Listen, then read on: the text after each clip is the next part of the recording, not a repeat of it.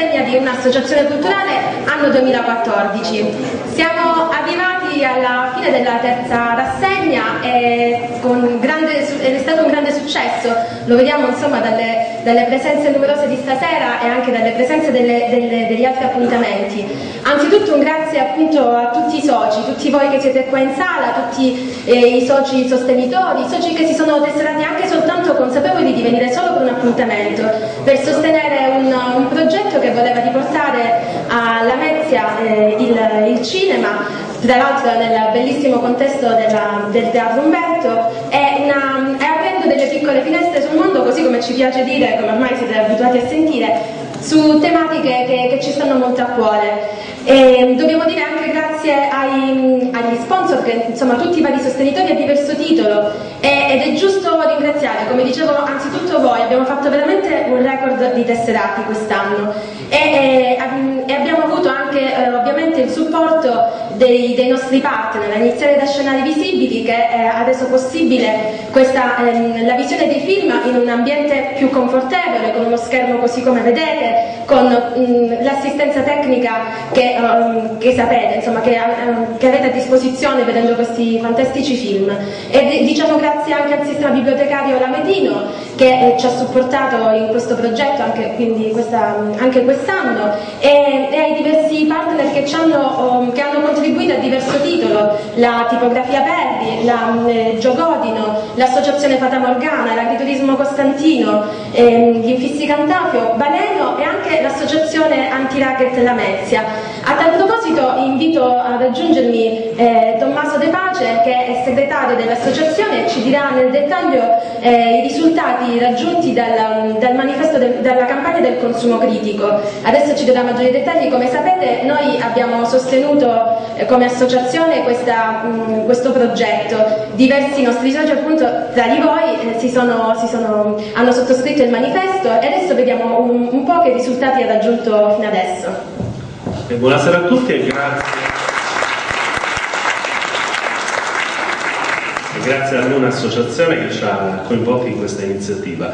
E, ehm, vi do un pochino contezza di come sta andando questa eh, campagna del consumo critico. Eh, questa idea del consumo critico è quella di riunire una serie di imprese, di imprenditori eh, commerciali, artigiani, professionisti che eh, dire, sottoscrivono un impegno a, a, non pagare il pizzo. Eh, queste imprese entrano a far parte di una guida, una guida consultabile online e che poi abbiamo anche stampato. Sta cosa funziona nella misura in cui c'è un impegno eh, dire, morale anche da parte dei consumatori ad andare a spendere i loro soldi lì dove ci sono queste imprese che hanno fatto una scelta. Eh, sull'onda chiaramente non ci inventiamo nulla, seguiamo quello che è stato il know-how di Addio Pizza a Palermo, se vi ricordate tanti anni fa attaccarono quei manifestini, l'intero popolo che paga il pizza è un popolo senza libertà, da allora a Palermo sono andate avanti su questo progetto e ci sono già a Palermo mille imprese che hanno sottoscritto questa cosa e che hanno appiccicato il loro bollino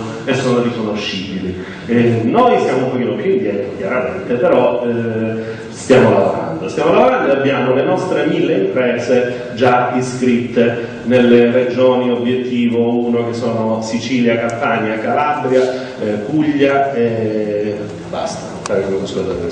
Eh, in Calabria siamo circa 150 e stiamo andando avanti. Ehm, con l'aiuto anche dell'Associazione 1 abbiamo eh, raccolto queste eh, firme su questo manifesto. Chi, chi non l'ha fatto, vi chiedo di farlo, c'è sul banchetto questo manifesto, nel quale chiaramente un impegno solo morale a, a sostenere questa cosa. Eh, a parte questo, l'associazione sta lavorando in Calabria per far nascere altre associazioni, pro probabilmente ne sta uscendo una eh, su Cosenza, lì ci sono degli imprenditori che hanno denunciato, ci sono dei processi in corso, e anche lì abbiamo visto, però pensavamo che Cosenza fosse un'isola un pochino più felice, invece anche lì ci sono grossi problemi di racket e di usura. Eh, l'altra iniziativa che stiamo portando avanti è chiaramente il Trame Festival, eh, ho fatto vedere agli amici che mi è appena arrivato il logo nuovo eh, dell'edizione 4, sarà dal 18 al 22 giugno, stiamo facendo la raccolta fondi perché come sapete Eh, quest'anno c'è un po' di problemi con il finanziamento da parte del comune per il dissesto, ma immaginiamo di potercela fare. Anche per questo eh, un'associazione ci, ci, aiuta a raccogliere dei fondi e chi vuole farlo all'uscita c'è un blocchettino per eh, sottoscrivere, oppure può farlo online www.tramefestival.it.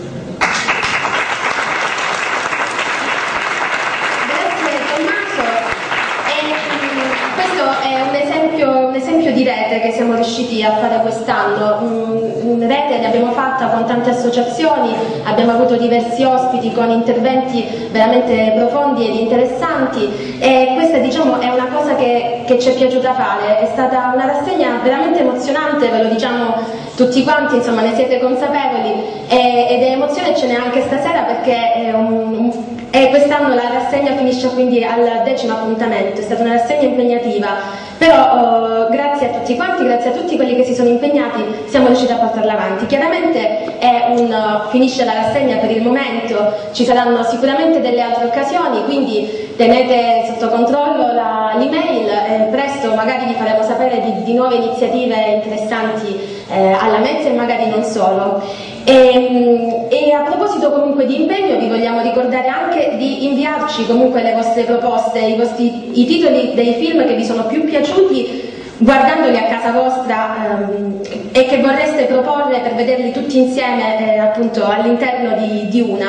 Eh, mandateci le vostre proposte, magari motivate, mh, mm, facendo un breve accenno del perché pensate che possa essere un bel film da condividere con tutti quanti noi e così contribuirete quindi alla, alla lista finale dei film che verranno proiettati eventualmente l'anno prossimo o magari nei prossimi mesi appunto prima. E, ehm, quindi a questo punto entriamo un pochino più nel vivo della serata di stasera e iniziamo con, con, una presa di posizione. La presa di posizione è che una è contro l'omofobia, lo vogliamo dire a chiare lettere, lo vogliamo dire con un bel film che parla d'amore. Grazie.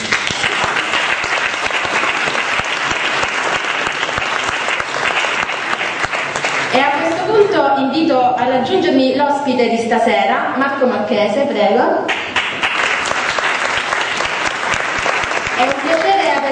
che tra l'altro um, è molto attivo nel settore, leggo eh, il titolo uh, che, che, abbiamo comunicato anche per email, Marco è segretario, segretario del comitato del centro di iniziativa locale dell'associazione Certi Diritti Calabria e responsabile dell'osservatorio um, politiche di genere e pari opportunità presso la Camera del Lavoro della CGL Catanzaro Lamezia Terme. Eh, adesso lasciamo subito la parola a lui così ci farà un, un bel intervento, vediamo nei contenuti. Grazie. Grazie.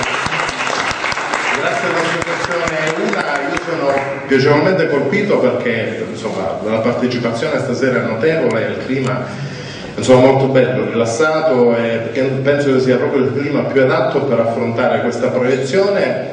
È una proiezione eh, che, parla, eh, che parla d'amore, però affronta un tema che è quello dell'omoaffettività come vedete non ho utilizzato il termine omosessualità, non è un termine che io amo perché non descrive, voglio dire, questo, eh, questa caratteristica. Eh, io per diciamo, semiprofessione, il 100% del mio tempo libero e anche qualcosina di più lo dedico proprio per la comunità LGBT, che cos'è questo acronimo? Lesbiche, gay, bisessuali, transgender. Eh, in Calabria c'è una forte necessità di eh, discutere dei diritti della comunità LGBT perché è una comunità ancora eh, nascosta, sottovalutata, ma che c'è, è pulsante, c'è eh, un fiorire di associazioni e di attività. Però mh, questa sera volevo fare un'operazione un po' diversa perché non siamo chiaramente in un contesto di un dibattito pubblico per cui non vi ho portato i miei dieci minuti di interventi tutti proiettati sui diritti, stile comizio, eh, cioè è la proiezione di un film, un film importante, affronta questo tema, siete, eh, sarete poi dopo chiamati voi, ognuno diciamo, individualmente, a fare le proprie, eh, le proprie valutazioni, le proprie riflessioni, i propri pensieri su ciò che, su ciò che avrà visto. E uh, quello che si vede, mh, dopo ci sarà chiaramente una nota introduttiva di critica a questa proiezione, però io voglio fare un semplicissimo accenno. Quello che ci insegna questo film e che l'amore è universale e forse appunto nel non portarvi una, eh, diciamo, il solito intervento sui diritti, le pari opportunità, eccetera, eccetera, vorrei in eh, 8-9 minuti offrirvi un mio, un mio, piccolo inedito, una chiave nuova. Eh, spesso a questo tipo di proiezione si potrebbe accostare la poesia, io però ho un'altra passione, una passione per le favole, ho una passione per le favole per grandi. Attenzione però, cioè le favole non, cioè, per grandi nel senso per le persone adulte, in realtà eh, questa favola è una favola che parla ad ogni bambina e ad ogni bambino che c'è dentro di noi, solo però ed esclusivamente nel momento in cui bussiamo a quella porticina e lo tiriamo fuori. E mh, mm, anche questo voglio diciamo, lasciarvela insieme alla proiezione del film senza aggiungere altro e eh, volevo brevemente leggervela con l'augurio e la speranza che questo possa essere una buona introduzione proprio alla visione di questo film importante. E questa favola per grandi si intitola Il sole e il fiorellino. C'era una volta un mondo lontano lontano tanto lontano che nessuno sapeva dove era, nascosto nell'angolo più bello dell'universo. Era un mondo bellissimo perché non solo conservava tutti i colori esistenti, ma era il posto dove i colori nascevano ed era abitato solo da piante che amavano appunto giocare proprio con i colori. C'erano alberi alti alti e bassi bassi, erbe di tutti i tipi, coloratissime, fiori grossi grossi e sottili sottili, tantissimi fiori dipinti da molti più colori che, che possono esistere. A contarli era impossibile perché ce n'erano proprio così tanti di fiori ed erano proprio questi che giocavano di più ad inventarsi colori, sempre di nuovi e con le sfumature più stravaganti, che poi, portati dalle comete ogni dove, dipingevano l'universo. Le comete ci avevano provato a contarli tutti questi fiori, ogni volta che passavano da lì, ma erano così tanti che perdevano il conto, soprattutto quando restavano emozionati dalle nuove sfumature bellissime che i fiori avevano inventarsi. E lo facevano proprio perché la loro felicità si esprimeva emozionando le comete, sapendo che queste viaggiavano esplorando l'universo. In questo modo li facevano vedere in tutti i mondi esistenti questi colori favolosi, che a guardarli si restava incantati, come quando lo stupore ti sorprende, resti a bocca spalancata e con gli occhi che non credono a quello che stanno vedendo. Gli alberi, fissi e immobili, erano scossi solo dalla brezza leggera che ogni tanto soffiava, ma la cosa divertente erano quando i funghi spuntavano la notte e solleticavano i loro piedi. A loro piaceva tantissimo questo gioco e quindi per far piacere ai funghi, per fargli capire che si divertivano, gli alberi facevano cadere delle foglie verdi ed era il loro modo di accarezzare tutti quei funghi allegri e giocosi con i piedi degli alberi. Poi fra tutte c'era un'erba verde, verde, verde, molto particolare, perché sprigionava un profumo così intenso e piacevole che a respirarlo si diventava subito felici e o ci si addormentava facendo sogni fantastici oppure si rideva a dire basta. Su questo monte lontano lontano un giorno nacque un fiorellino, bello e coloratissimo. Questo fiore adorava il sole e non faceva altro che guardarlo dall'alba al tramonto seguendolo coi petali verso il cielo, per non perdersi nemmeno un raggio di questo, suo, eh, di questo sole buono e amorevole. E quando scompariva all'orizzonte i petali si chiudevano e insieme al peduncolo riassumevano la forma di un bocciolo per proteggere il tesoro, cioè i granuli di polline, la vita. Però il fiorellino lasciava sempre un paio di petali un po' aperti, così da quella fessura sottile sottile poteva guardare la luna, seppur pallida, la luce che ne veniva riflessa era sempre dal suo sole e non gli dispiaceva questa luce, quella luna era la luce e la luna degli innamorati e si faceva a quel modo accompagnare nel sonno preparandosi ad una nuova, bella, calda e luminosa giornata. Il sole un giorno si accorse di quanto era attento questo fiorellino e quindi fece in modo di mandargli la luce più bella e calda che poteva, proprio per fargli piacere e da quel momento lo chiamò proprio così, fiorellino, che poi in realtà non era per niente piccolino come può essere un fiorellino, anzi era un bel fiorellone con le foglie larghe larghe, gli steli lunghi lunghi e i petali grandi grandi. Il sole invece era piccolo, appena un chicco, ma la cosa straordinaria stava nel fatto che riusciva a sprigionare tutta quella splendida energia luminosa e tutto quel tepore in modo da rendere questo mondo così bello e incantato. Il sole giocava con la luna a rincorrersi tutti i giorni e tutte le notti ed era felice, ma un giorno di colpo divenne triste. Il moto perpetuo di sempre gli fece capire che in quello schema non avrebbe mai potuto toccare la luna, così come non avrebbe mai potuto inebriarsi col profumo del suo fiorellino fiorellone, tanto bello e tanto amato, e nemmeno sfiorato, se non con la luce e il calore che era capace di mandargli come i più teneri degli abbracci. Il sole si chiese se poteva esserci un modo per toccare la luna e per sentire il profumo del fiorellino che amava, perché avvertì il bisogno di realizzare il suo amore e quindi glielo chiese al fiorellino, gli disse, e il fiorellino gli disse, guarda, se solo tu, sole, e se solo tu potessi, eh, ma per davvero, davvero, eh, davvero trasformare tutta la tua energia in amore, tu potresti realizzare il tuo sogno e quindi non sarebbe rimasto più nello schema del moto perpetuo, ma sarebbe potuto andare in ogni dove, lungo questo infinito universo, perché l'amore e solo l'amore non conosce confini né regole precise se non quelle dettate dalla libertà. Al Sole sarebbe tanto piaciuto poter viaggiare in ogni dove e andare a vedere i miliardi e miliardi di mondi che esistevano in questo universo sconfinato. Ma disse al fiorellino che adesso era di nuovo triste perché da solo non avrebbe avuto senso fare tutto questo e mentre lui sapeva di essere un chichetto piccolo piccolo ma con energia inesauribile sapeva anche che il fiorellino prima o poi sarebbe sparito alla fine della stagione come aveva visto fare a tutti gli altri. E quindi come avrebbe potuto realizzare il sogno di viaggiare nell'universo col suo fiorellino bellissimo e adorato. A questo punto il fiorellino raccontò al sole un segreto, il segreto di questo mondo, che poi è quello che muove tutto l'universo. E gli disse guarda, nell'universo come qui nel nostro mondo nulla scompare, semmai tutto si trasforma e io come ogni fiore che siamo qui alla fine di ogni stagione non facciamo altro che trasformarci in amore e da quel momento possiamo viaggiare fra i miliardi e miliardi di mondi di questo universo infinito. Il Sole a questo punto divenne di nuovo felice, perché così, appena sarebbe finita la stagione, sarebbe bastato voler trasformare per davvero tutta la sua energia in amore, avrebbe potuto viaggiare nell'universo col suo bellissimo fiorellino fiorellone, anch'esso trasformatosi in amore e donargli tutto il calore e la sua energia.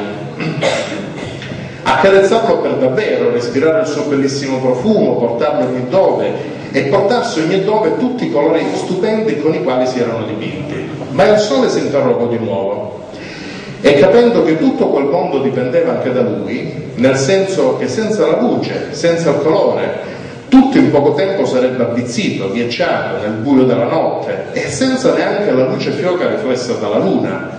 Quindi tornò ad essere triste, perché credette che il suo destino fosse solo legato a quel modo perpetuo nello schema infinito e niente più. Allora chiese di nuovo al suo fiorellino in che modo potesse uscire da questa situazione, perché non avrebbe mai potuto sopportare di essere responsabile della fine di questo mondo bellissimo e straordinario perché sarebbe stato davvero brutto far perdere tutte le cose belle di questo mondo per il solo fatto di soddisfare un capriccio? O un suo personale desiderio. In realtà non era un capriccio, un desiderio certamente sì, e anche un'aspirazione, perché voleva solo essere felice. E poi era il cuore del sole che batteva forte forte. E questo, mosso dall'amore, lo stava guidando, oltre al fatto che ogni suo desiderio era riposto nei sentimenti che provava per il suo fiorellino e appunto dal desiderio di avvicinarsi a lui e stargli vicino per sempre. Allo stesso tempo non avrebbe mai tradito quel mondo, non l'avrebbe mai fatto avvizzire e gelare dal freddo nel buio, anche al rischio di restare solo e infelice per l'eternità. In questo universo non esistevano leggi scritte, ce n'era una però, l'unica, che era accettata e rispettata da sempre e da tutti, perché tramandata dall'inizio del tutto ed era riconosciuta valida in ogni luogo e in ogni tempo. Questa legge diceva segui il tuo cuore, perché solo l'amore ti porta alla felicità e tutti hanno diritto alla felicità. Ma senza di me che fine farà questo mondo meraviglioso? Questo divenne il tormento del sole. E poi, ammesso che sarebbe riuscito in questo modo a risolvere questo dilemma, c'era anche da pensare alla povera luna, che sarebbe rimasta sola, triste, e gli innamorati? Come avrebbero fatto senza poter più guardarla con tenerezza e amore? Chi avrebbe riflesso quella luce soffusa che brilla negli occhi degli innamorati, quando durante la notte si dicono ti amo? Come avrebbero fatto a trovarla nel buio? Allora il fiorellino guardò il suo sole con infinita tenerezza e capì per davvero quanto questo sole fosse buono e raro, perché era così pieno d'amore per ogni cosa. E quindi gli parlò con dolcezza. Se tu, sole mio, chiedi alla luna se vuole diventare sole la luna vuole, allora prendene un pezzetto, piccolo piccolo, appena un chicco, e donagli tutta la tua energia Vedrai che quel chicco di luna diventerà un sole bellissimo e la luna continuerà a carezzare tutti gli innamorati, riflettendo quella luce romantica fatta solo, fatta solo per loro. Il sole rimase sorpreso, ma soprattutto incantato, perché capì che in quel modo poteva davvero realizzare il suo sogno, senza procurare danno a nessuno, al mondo dove nascono i colori dell'universo. E quindi si preparò, parlò con la luna, gli diede, che gli diede subito un chicco di sé, perché se così poteva fare in modo che il Sole potesse essere felice e realizzare il suo sogno, anche la Luna ne sarebbe rimasta contenta.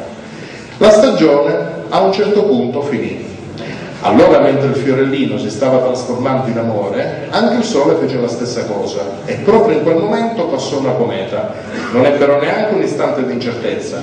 Il Sole e il fiorellino gli si misero in groppa e mm, stretto stretto si avvolsero, si avvolsero fra di loro.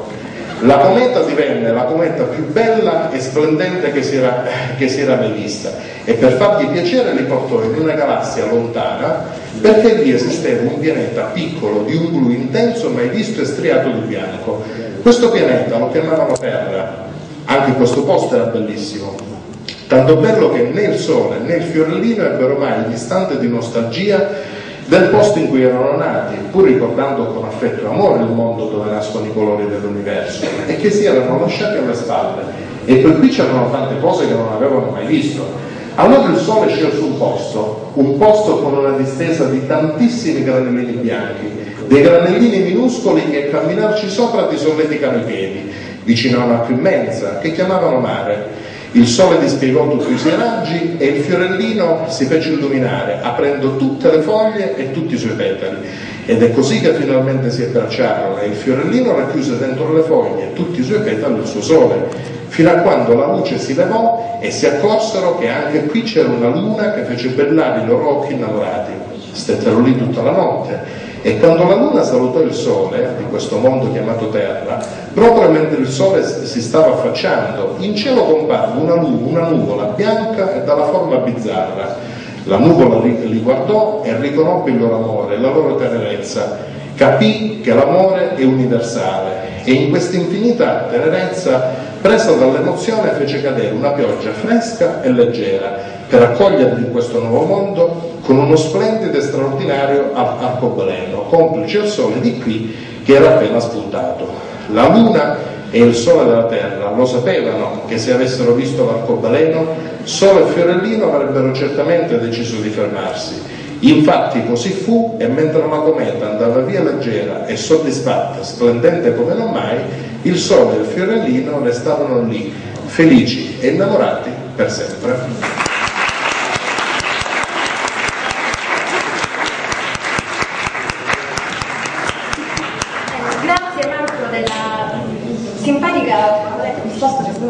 Senza con le casse. Grazie ancora di aver accettato il nostro invito, grazie di essere venuto, molto carina la favola. E per un altro, oh, un altro intervento comunque probabilmente ti inviteremo sicuramente in altre occasioni perché è, è sempre un valore aggiunto quello di un'esperienza diretta, quello di una, eh, di una testimonianza eh, anche tramite appunto quindi una storia eh, favolosa, benissimo, ok, grazie.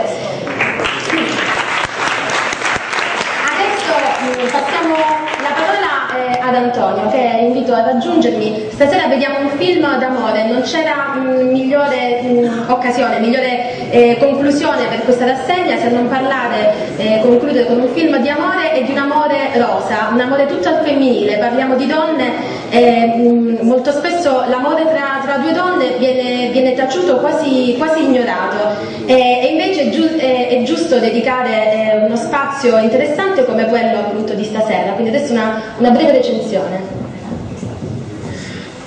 Allora, innanzitutto stasera facciamo il grande botto, è la terza edizione della nostra rassegna e non potevamo finire in maniera migliore. Questa è la seconda palma d'oro nella nostra lista. E anche la nostra seconda grande storia d'amore, solo che la prima eh, Haneke, per chi era presente, trovava una sensibilità prettamente europea, forse anche un po' violenta, un po' brutale, perché il sentimento d'amore era tanto più forte quanto più repressi erano i suoi risvolti più oscuri anche con una certa tendenza per le atmosfere eh, soffuse, le atmosfere grigie di una Parigi che eh, assomiglia tanto alle città del nord bergmaniane. Keshish con il suo film è praticamente agli antipodi, è tunisino e arriva in Francia da, norm- da uh, normale emigrato, come tanti in fondo, di cui noi sentiamo parlare nei nostri telegiornali, e impara il francese da autodidatta, interessando soprattutto alla letteratura pre-libertina e quindi a Pierre Marivaux. Marivaux è un, person- un personaggio, è un autore importantissimo che scava nei sentimenti della borghesia nascente nel Settecento e che più volte lo ha aiutato a creare storie di donne e amore bellissime, non, non solo per il suo grande amore per il corpo femminile, per l'anima femminile, ma anche per una concezione, una concezione sia fisica che metafisica.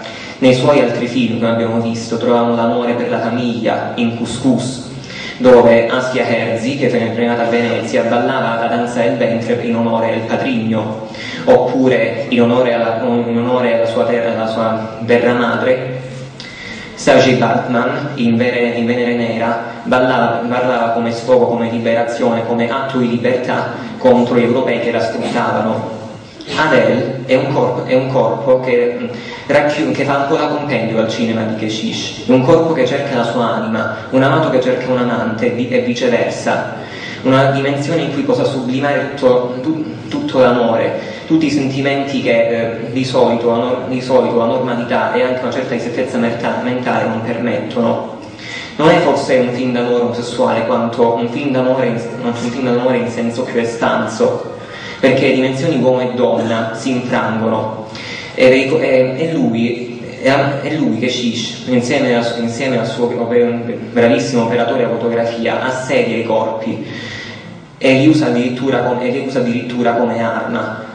Lei stessa, per esempio, nel grigiore di Lille, una città del nord francese, scopre il sole, scopre la, scopre la, luce, ma anche la notte sensuale, il sentimento che muove il sole e le altre stelle, come disse il nostro grandissimo poeta e lo trova racchiuso in Emma, una ragazza che con una semplice pennellata di blu racchiude il senso del mondo, la apre alla vita e fa anche capire che la vita non è tutta quanta rose e fiori, anche, mm, anche quando, eh, l'amore, quando l'amore, la loro reazione sembra andare avanti, lei capisce che pur essendoci tanti pesci, tanti pesci nell'oceano, il primo grande amore non si scorda mai. Il film è stato premiato a Cannes da una, da, da una giuria presieduta da Steven Spielberg. Ha vinto 5 premi Lumiere e i César per miglior promessa femminile per Adele Exarchopoulos, la grandissima protagonista che fa un duetto eccezionale con Lea Sidou, Emma, oggetto del desiderio, e che erano già state protagoniste del fumetto omonimo di Julie Marot, che aveva trattato la tematica, però con risvolti da teen drama, anche forse anche un po' parodistici che Cic non punta al, dra- al, dramma lacrimoso, lui punta alla realtà, allo spionaggio dei sentimenti, non importa, qua- non importa quanto crudi, soffusi o confusi siano, però non c'è ambiguità né nella carnalità né, nell'espo- né nell'esposizione nella interiorità dei personaggi, è semplicemente natura. Per, e questo capiamo anche per le atmosfere in cui domina il sole, domina la luna, una, una sensibilità che certo europea non è, è africana, un calore, che, un, calore, eh, un calore di vestale che pervade l'intero film e che gli dà un senso, così come l'amore per Emma dà un senso alla vita di Adele, che sembrava così confusa nella ricerca della propria, nella ricerca della propria identità. Grazie mille per l'ascolto.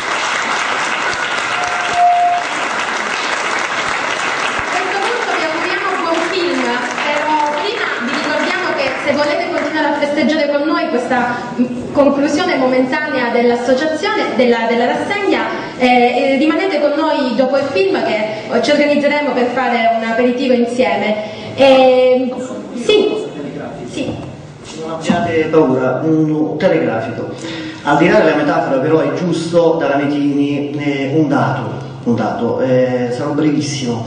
E negli ultimi anni mh, mm, ci sono almeno tre suicidi a Lamezia per pressione omofobica. E non ultimo un tentato suicidio di un ragazzo, perché al di là delle metafore, delle situazioni, dobbiamo dire dai dati concreti. Non ultimo due settimane fa un ragazzo di 17 anni ha tentato di buttarsi al ponte del torrente Cantagalli. Quindi al di là di tutto eh, cerchiamo, noi che siamo qui questa sera, di aprire dei canali, al di là della visione del film, di essere spettatori, ma di essere attivi nel contribuire ad aprire canali di socialità.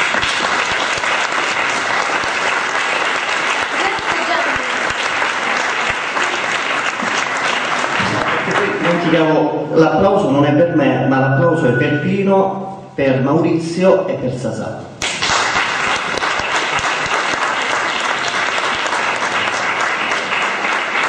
Grazie, di questa testimonianza, grazie Gianni e concludiamo con un applauso comunque a tutti voi. facciamoci un applauso, dobbiamo essere